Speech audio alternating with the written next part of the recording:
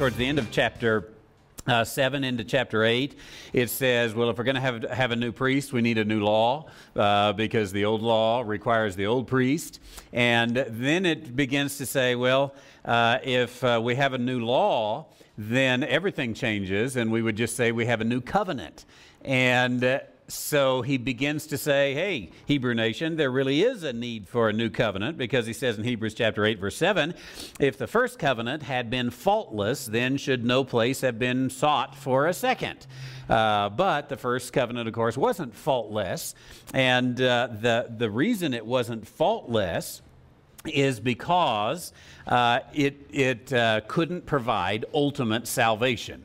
It could bridge a gap uh, and yet, even in bridging that gap, there was the need for the people to remain faithful, and the people didn't remain faithful. So in verse 8, it says, uh, King James says, finding fault with them. We talked about that last week. I really think that should be finding fault with it. Uh, this is finding fault with the first covenant. He said to them. So finding fault with the first covenant, he said to the people, Behold, the days come, saith the Lord, when I will make a new covenant with the house of Israel and with the house of Judah. Now, that's what we talked about last week, this new covenant. And uh, uh, my, uh, my, my belief and conviction, uh, based really on this passage of Scripture, which is uh, quoted from the book of Jeremiah, that you and I are not under the new covenant. We're not under the old covenant. We're not under the new covenant, but you and I are under grace, uh, or to, that is very true, but to be more specific to this chapter, we're under Christ. Uh, we're under Christ, who is the middleman, you remember we talked about, and we'll bring that up again. Uh, so if he's really the middleman, then uh, he's between the old covenant and the new covenant, and we're not in the old covenant, we're not in the new covenant, so we need a middleman. And Christ is our middleman between those, those uh, two. And he goes on in verse 9 to say, Not according to the covenant that I made with their fathers in that day. He's talking about the new covenant. Won't be like the, the covenant with the fathers in that day when I took them by the hand to lead them out of the land of Egypt, because uh, they continued not in my covenant, and I regarded them not, uh, saith the Lord. It would uh, be interesting sometime, we're not going to do it in this study, but uh, take that little phrase, I regarded them not, and follow that through. You say, wait a, wait a minute, uh, God, did, God disregarded the Jewish people? And uh, actually, he did, and he did it according to the covenant, because the covenant uh, the old covenant had restrictions, and that is the Jewish people had to do their part. They had to be obedient. And if they didn't do their part, what was God going to do? Turn his back on them. Uh, he would disregard them. And so uh, he said, I regarded them not. Uh, by the way, just a little uh, footnote on personal Bible study. I think I mentioned the other day, though it may have been on the online Bible study, I've forgotten, uh, that when I study the Bible, I use uh, three things. Uh, there's actually four. But the three things I use are the King James Version of the Bible, I use the Newberry Interlinear translation of the Greek, and compare those two. And uh, then I use a Strong's Concordance. Those are the three things uh, that uh, are uh, so important. Uh, for you, I'll let you buy with two of them. You can use a King James and a Strong's Concordance. Uh, but if you really want to be advanced, go ahead and do the Newberry Interlinear. be careful on buying your interlinears, by the way, because most of them are built on a different text. That's why you need the Newberry Interlinear. Now, those three things I use. But there is a fourth one that I very often use, and this is readily available online, as all of those are, by the way. You can uh, look at any of those free online. Uh, but the fourth one is called the Treasury of Scripture Knowledge. Treasury of Scripture Knowledge. And what the Treasury of Scripture Knowledge does is uh, take each verse of the Bible. Uh, so you would look up Hebrews chapter 8, verse 9 in this, uh, in this uh, context, and it will give a little phrase from the King James. If you don't use the King James, it gets a little confusing because the phraseology is different and you can't match it up as well. But it'll give this little phrase like, I regarded them not. And then it has a string of Bible verses. And uh, those Bible verses uh, prove the point that I regarded them not. They're illustrations. Now you say, what's the difference between that and a concordance? A concordance, like Strong's Concordance, all that does is look up the particular word. Uh, so it may or may not be in context. The treasury of Scripture knowledge uh, looks through and finds every place the Bible says, I regarded them not. Uh, and this, by the way, was done in the late 1800s by R.A. Torrey.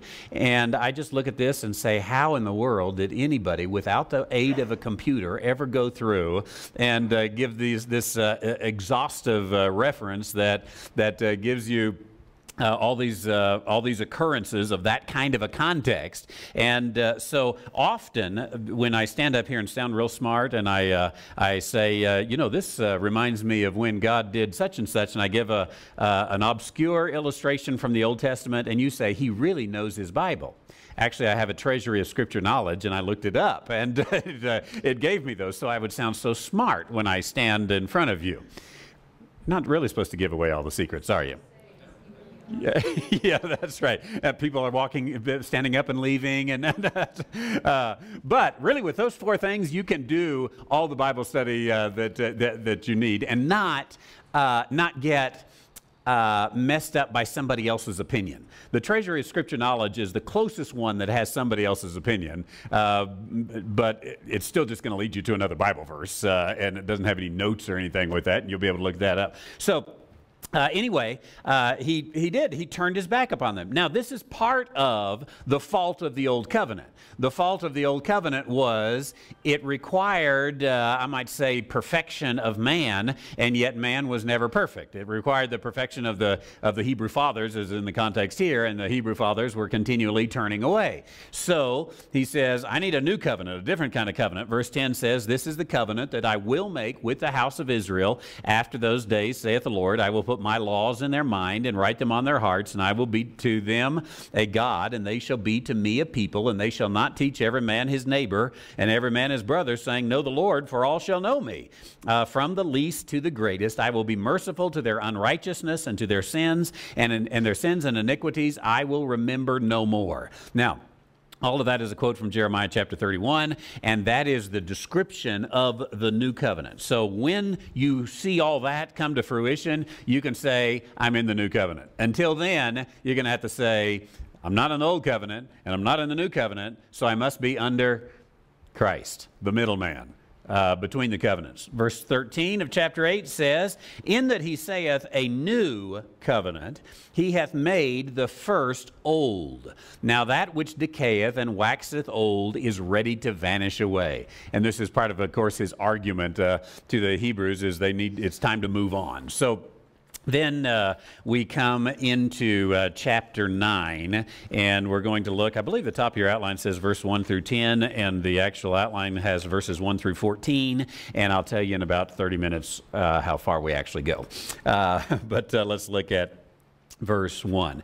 It says, Then verily the first covenant had also ordinances of divine service and a worldly sanctuary. Uh, here is the. Uh, uh, he, he's going to continue really this thought. That's why I gave you so much uh, review. Is he's continuing this thought of the new covenant. So uh, then, that's a word in the past. Verily, truly, uh, no doubt about this he says the first. Now, in uh, King James, it has the word covenant in italics, which, of course, remember, you remember means that that word was inserted by the translators. It was not there. Uh, this is one of the reasons, by the way, I don't recommend the English Standard Version or the Holman Christian Standard Bible or the NIV for a number of other reasons. But uh, if you have any of those versions and you look, it'll say the first covenant, but the word covenant is not italicized. So you can't tell that that was put in by man and not by God. Uh, and I think you need to be able to tell. Uh, here, actually, maybe it does mean the first covenant. Uh, the Newberry Interlinear, and I haven't uh, dug through this to figure out why the King James didn't carry it through, but the Newberry Interlinear Greek version actually says the first tabernacle had ordinances. Now, uh, is it the first tabernacle that had ordinances or the first, uh, uh, first covenant that had ordinances? The answer is Yes. Uh, and the first tabernacle was under the first covenant. So in a sense there, it's not really going to uh, gonna change anything, but we are, we are biblical engineers, and engineers are precise, right? So we want to check all these things out. So uh, the first is literally what the text says. The first had also ordinances, but not just ordinances, these were ordinances of divine service. We're going to look at that word uh, later on uh, in uh, verse uh, 6 and, and come back to it. Just remember those words, divine service. So there were ordinances of divine service. That is, there were things under the first covenant that especially the priest, but the people and the priest were supposed to do, right? Uh, and of course, it wouldn't be hard to figure out some of those things. You're supposed to bring your uh, sacrifices at certain times of the year, and they were the priests were supposed to bring sacrifices at certain times of the day, even. And all of this uh, was carried out and is uh, enumerated in the first covenant of uh, the, the law. Read the first five books of Leviticus, and you'll see a lot of it, first five chapters. Uh, so it had these ordinances of, of, divine service, and it had a worldly sanctuary. No doubt about it. Uh, the instruction under the first covenant, under the law, was a worldly sanctuary, right? We call it the tabernacle. And here's all the details, as we talked about last week, of how to build the tabernacle. So that's the first one. Uh, verse uh, 2 then says, For there was a tabernacle made. The, the, the first wherein was the candlestick. Now, uh, we have to be careful here because this gets a little confusing. Uh, there was a tabernacle made. It says, the first wherein was a candlestick. Now jump to verse 3. And after the second veil, the tabernacle, which is called the holiest of holies, uh, holiest of all. If you're not careful, you will uh, say, the first tabernacle and the second tabernacle. And uh, you might be thinking, well, there's no second tabernacle, so it must be talking about the temple. But actually, uh, it's only talking about one tabernacle here. So let me explain the, uh, the English here. Uh, for verse 2 there was a tabernacle made, the first wherein there was a candlestick. Do you remember the uh, design of the tabernacle? You would go in to the the first room. That's right. That's the first that it's talking about here. It's talking about the first room of the tabernacle, not the first tabernacle.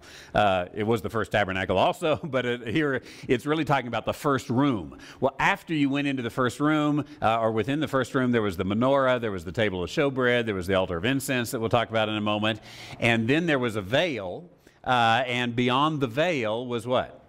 the Holy of Holies. And only the high priest went into the Holy of Holies, and then only once a year. And within the Holy of Holies, there was the Ark of the Covenant. So some of that will be mentioned here in just a moment. So when he says here the first, he is referring to the first room in the tabernacle. Now, the second room in the tabernacle was called the Holy of Holies or the holiest of them all here. What was the first room called? The secretary's office. yes. Did you say the the holy place, that's right. So this can get kind of confusing because you've got the holy place and the holiest of all. Uh, you've got the holy place and the holy of holies. Uh, and so the holy place is the first room. And the, the Levitical priests could go in the first room uh, and uh, carry out their uh, particular duty. Uh, Zechariah, the father of John the Baptist, perhaps was in this room. Maybe even Zechariah, John, the father of John the Baptist, was in the Holy of Holies, carrying out his duty by lot because they had left much of the first covenant by the time John the Baptist was born. Uh, but uh, this is the, what was taking place. So, uh, in the, the, the first room, the holy place, in verse 2, it says, Wherein was the candlestick and the table and the showbread, which is called the sanctuary. Now, the showbread is not called the sanctuary.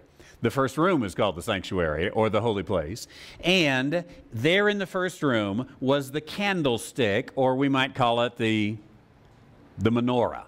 Uh, the, that uh, would the menorah would be the Hebrew word, and uh, it uh, was the uh, uh, seven-branched menorah, three on either side and the one in the middle, and that was in there, and that was only in the tabernacle, by the way, in the in the temple, later on in the temple, Solomon, when he built the temple, actually put 12 menorah. He put one for each of, uh, uh, of the tribes. But in the original, there was the one, uh, one menorah and the table and the showbread. The showbread went on the table. Uh, the showbread uh, that went on the table, there were uh, 12 loaves that went on, one for each tribe, onto this table, and they were changed out. Does anybody remember how often?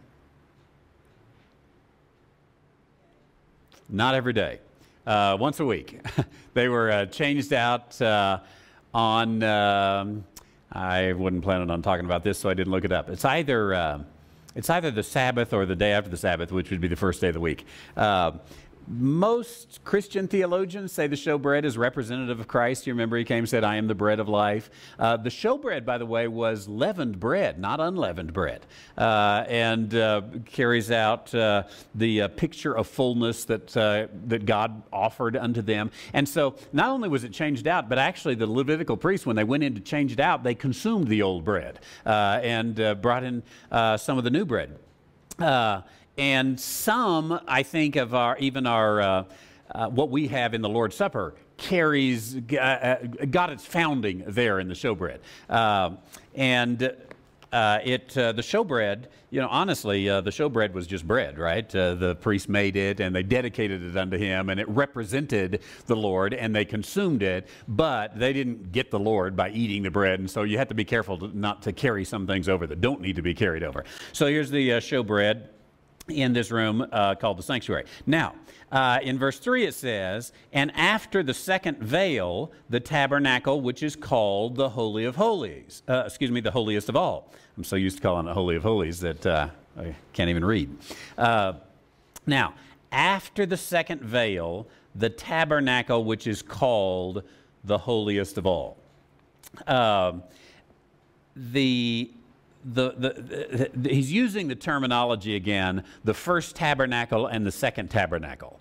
But that is the first room, the second room. We would call it one tabernacle in our way of speaking. Uh, so after the second veil, again, you have the holiest of all. Uh, now, uh, I, want to, I, I got to get into Greek to help you understand uh, what this says. Uh, in verse 3, it says, after the second veil. Okay, if we talk about after the second veil, then would we be talking about inside or outside of the second veil? In, in having gone through, right? Uh, and uh, so on the inside of the Holy of Holies. Uh, the problem is, verse 3, verse 4 says, which had the golden censer and the Ark of the Covenant. the problem is, you can't find anywhere in the Old Testament, uh, Hebrew scriptures, where it talks about the golden censer, that is the altar of incense, uh, being within the Holy of Holies. It's always in the holy place, not in the Holy of Holies. So, why does this say it's in the Holy of Holies? Truth is, it doesn't really say that. Uh, it uh, just appears to say that in Greek, and excuse me, in English especially. Uh, the Greek word uh, meta uh, Anyone know what that means in English? Or uh, the prefix meta? It comes a lot like uh, metamorphosis and uh, meta. Ah, thank you. I, I, I, when DNA is changing, what would you call that, doctor? Metaphase. Uh, so meta really is the word change, is, is the word changing. Uh, and uh, I don't know, metaphysics, uh, I guess. I don't, know, I don't know what that means. Uh, but, but any meta word is going to have a change kind of concept. Now, uh, when you take that in verse 3, uh, changing to the second veil, doesn't really say going through the second veil or after the second veil, but it's meta. And many, many times, actually, in the, in the New Testament, when the word meta is translated, it's actually translated using the English word with with. Uh, the idea, it's used in Greek in this, in, in this uh, sense, saying, uh, now we've talked about this, let's change and talk about this. So it's not, a, it's not the kind of change as, uh, it, it's more of a, a, turn of the, of the conversation than anything. So we've talked about the first tabernacle, and now I want to change and talk about the second tabernacle, but He's, he uses this, let's, let's translate it with the second veil is the golden censer and then the altar of incense. Now, I'm convinced when you look at this theologically, and we're not going to get any deeper than this because I'll get lost and you will too, but uh, theologically, the, the, uh, the, the altar of incense goes with the, uh, uh the, the second veil and you have a, a, theological progression here as you got the light of the world, the bread of the world, and then you've got this mediator uh, that uh, is also representative of Christ and the, uh, the, the, the, prayers that he offers uh, for the saints uh, and that altar of incense that's pictured there.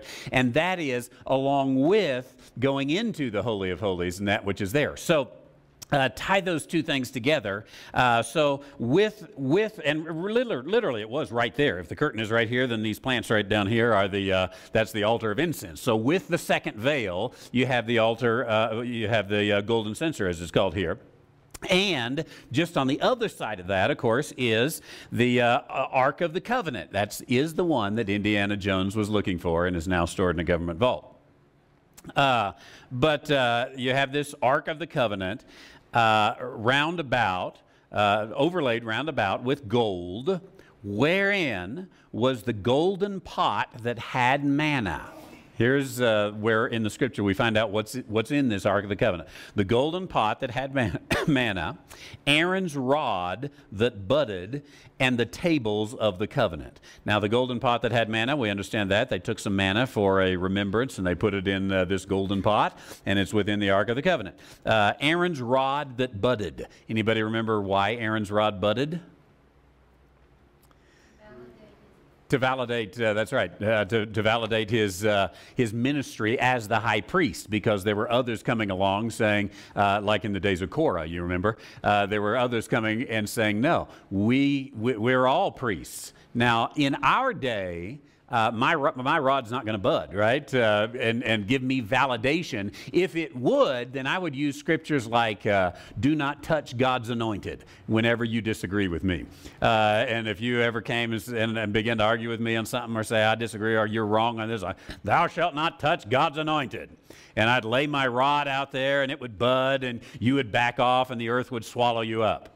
Now, those are like in a preacher's dream. Uh, that's how the world works. Uh, but I'm not Aaron, uh, the high priest. Uh, you, you look at it later with, uh, with the prophetic ministry. The same thing is given as well when uh, Miriam and, and Aaron go up against Moses and say, We hear from God too. And God says, Oh, yeah? I, I talk to Moses like I talk to a friend face to face. You, on the other hand, leprosy. so that's what you get. Uh, and uh, God was so clear that there is a priest and only one, and I've selected him, and you are to follow him. There is a prophet and only one, and I've selected him, and you are to follow him. So uh, in the days of Korah, they were coming up and saying, No, uh, they were arguing basically for something that we preach today, and that is the priesthood of the believer. And they were saying, We can all go before God and uh, we can all represent ourselves before Him. And uh, God uh, said, uh, "Let's," uh, said said through Moses, "Let's have a let's have a test here." And they took their their rod and they laid them all down and uh, aaron's rod just immediately budded and produced fruit and the fruit was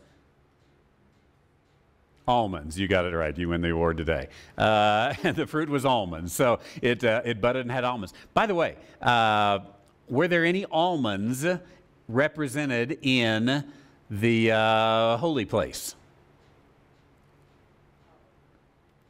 What was that? Probably. That's a good answer. and yes, there were. And if you were to walk into the holy, holy place to find the almonds, where might you look? Go to the menorah. And the menorah, each, uh, uh, each one of the, uh, the, the, I don't know what you call it, branches of the menorah had, uh, I believe it was three almond blossoms, and then the top, the bowl, was in the was an almond uh, in the shape of an almond, and it had the oil in it and the, and the wick then coming out. Uh, so this, this idea of the almond somehow is, is uh, carried through here. Now, that rod that budded is still there. Brings up the question, what is the manna today? Is the manna still good and the rod still blooming? Uh, we'll have to ask Indiana Jones for sure. Uh, uh, truth is, we don't know, but I don't have any reason to believe that uh, if God wants those preserved, that He can't preserve them. And uh, the ark itself, even uh, being preserved uh, somewhere, who knows where. So these two things. And then the third thing are the tables of the covenant. Now, the tables of the covenant are what? The, the Ten Commandments, yes. so this helps us to see that the Ten Commandments really are the representation not only of the law, but of the Old Covenant. Uh, there's so much more to it than just the Ten Commandments, right? Uh, but these tables of the covenant that Moses uh, uh brought down and uh, then later had to re- redo uh, are contained in there. Now, I think this is accurate. The tables of the covenant. I I have shocked some people before by saying and I'll go ahead and remind you of the shock uh, by saying that you and I are not under the Ten Commandments.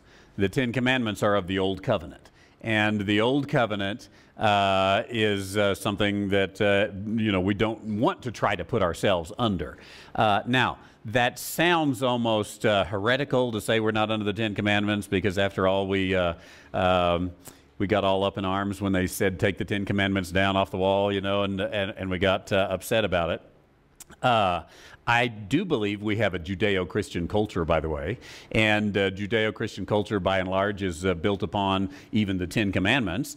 Uh, but uh, and, and I also believe that you should not murder or commit adultery or steal or uh, bear false witness or uh, covet, uh, even uh, use the name of the Lord in vain or uh, put, put some other God before our God, the one true God. You shouldn't do any of those things. but what about remember the Sabbath and keep it holy?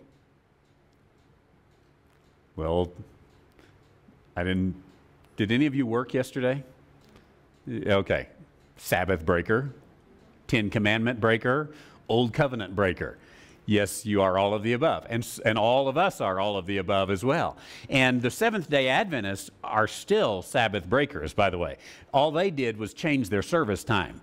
Uh, and that doesn't get you under, under the, uh, the, all the instructions of the Sabbath. Ask any good Jew, and they'll say, no, that, that ain't going to cut it, just to uh, switch and have your service time on a different day.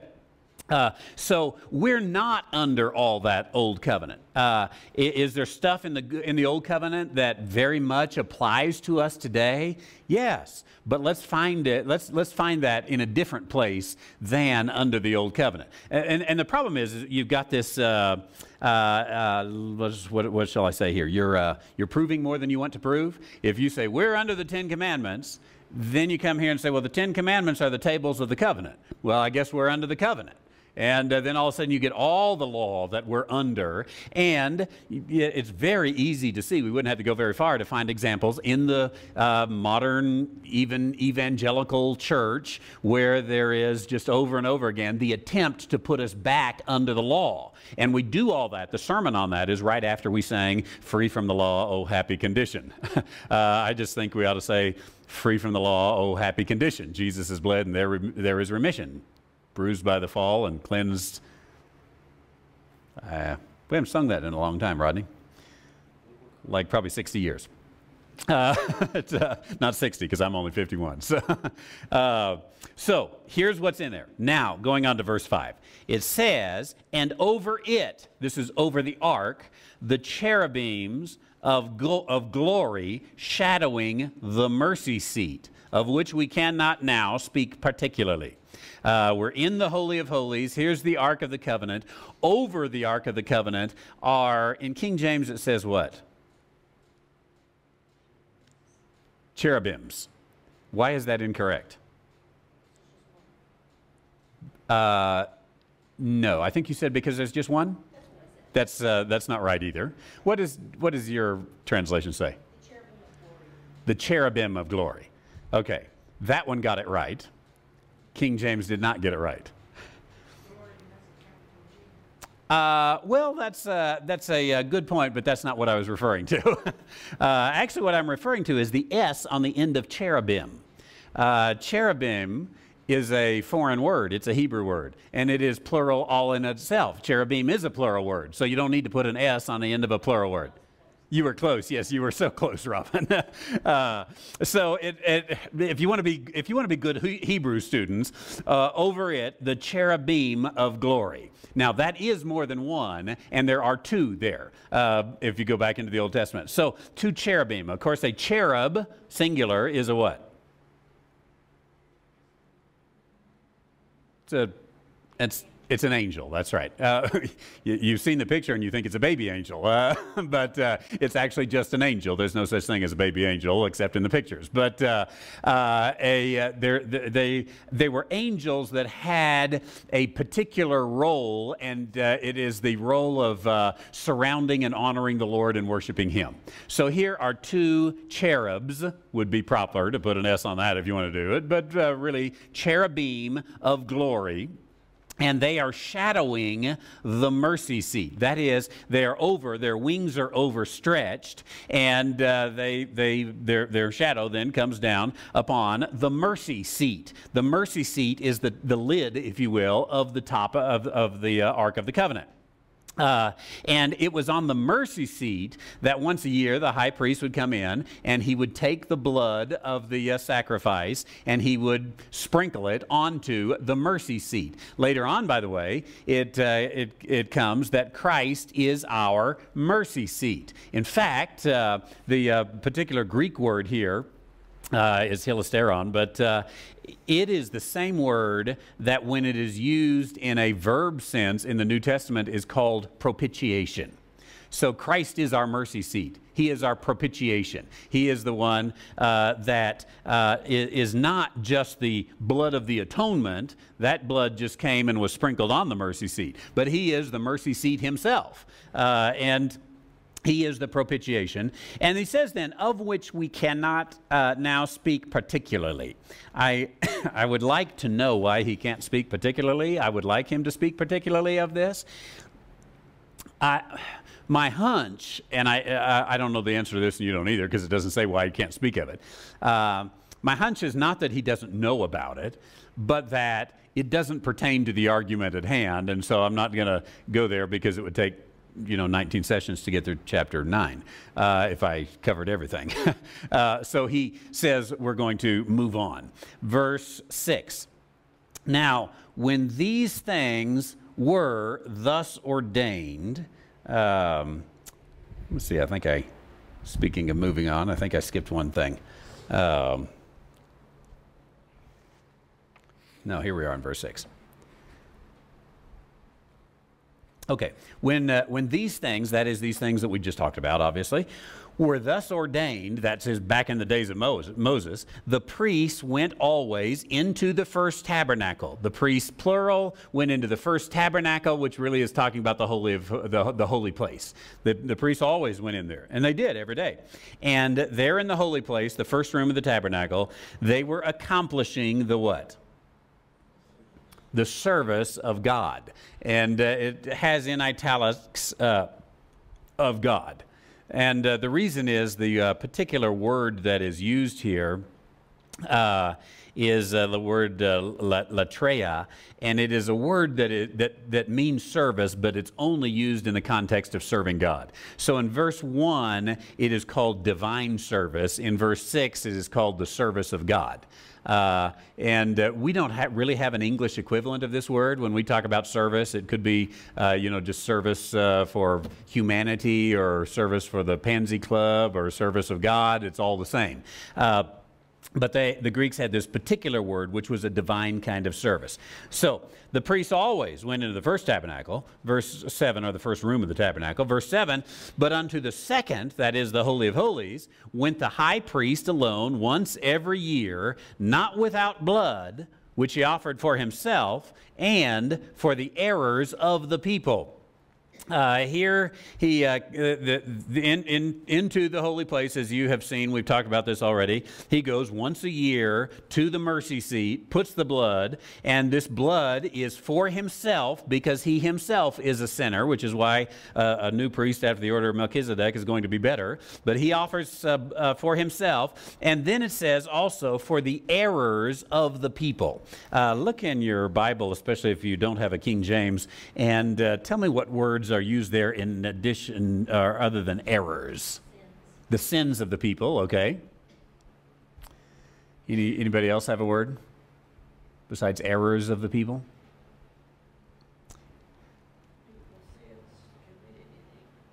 The sins committed in ignorance. Okay. Uh, let's talk about those three, and then I'll tell you which one got it right here. Uh, errors and sins. We probably uh, would say there's a difference between, in the English language, between an error and a sin, isn't there? Uh, between a, oops, I messed up, and I sinned.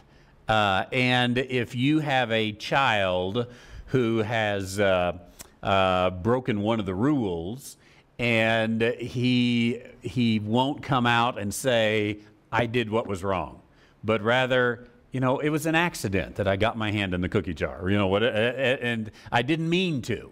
Uh, are you satisfied with your child if he just uh, kind of puts it off as uh, circumstantial?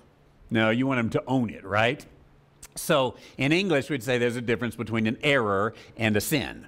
Uh, now, uh, I believe it's the New American Standard says a sin committed in ignorance. Now, we do commit sins in ignorance sometimes, right? Uh, and uh, especially under the law, it was much easier to commit sins in ignorance uh, because there were all these regulations. Uh, if you go by the rabbi, 613 of them. And how do you remember those 613 and check the list every time before you act, right? So you might commit a sin against the law in ignorance. Now, actually, the uh, particular Greek word that is used here is a word that is a, uh, uh, uh agnoma is the word, uh, and uh, we get agnostic comes out of this word, and an, an, agnostic is different from an atheist. An atheist says there is no God, an agnostic says what? It's unknown whether there's a God. That's right. So this agnomia word is is is the idea of, of ignorance, I don't know, error. Uh, so, literally, on the, on the Day of Atonement, uh, the high priest was going in to cover the sins of ignorance. And if you look at, I've given you some passages there in the, in the outline, uh, you can look those up, and those are really the sins that, were that, that, uh, that could be atoned for, is sins of ignorance. What about willful sins? Truth is, the law didn't have uh, any kind of atonement for a willful sin. So uh, it uh, it had an atonement for uh, you know for a, you accidentally killed your neighbor's ox. Uh, you, you, there, there was atonement for that. Uh, but what if you just went out and killed your neighbor's ox because it was barking in the night? I don't know if neighbor's oxes bark, but I mean, you did it willfully. Well, there, there is not then, under those circumstances, any kind of atonement. Now, does that mean that if you have done a sin willfully under the old covenant, that you are going to, uh, I'm going to use some New Testament, New Testament terminology uh, or New Testament testimony, uh, and that is, you know, would you just die and go to hell if you committed a sin willfully? Not necessarily. Uh, because what the law had is ignorantly you commit a sin, there's a sacrifice and an atonement for that. Willfully you commit a sin, there's a punishment for that. And it depended on what the sin was as to what the punishment was. Uh, so once you had paid the punishment for it, so to speak, you made restitution, then that sin was taken care of. So you were not uh, doubly accounted for those sins, so to speak. Uh, and, and, there were certain sins that resulted in death, of course, and there's no way to, uh, to live on after that.